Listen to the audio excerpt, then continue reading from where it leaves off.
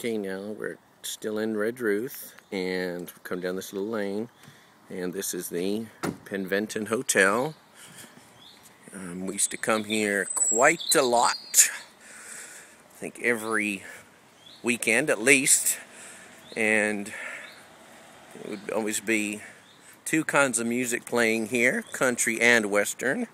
And mom and dad loved it and all their friends and everything like that. It's it's gotten a little bit more upscale now than what it used to be, but um, this is the Penventon Hotel, and we would come here as kids with them and uh, see a lot of different artists and um, performers, country and western singers, particularly playing and performing here.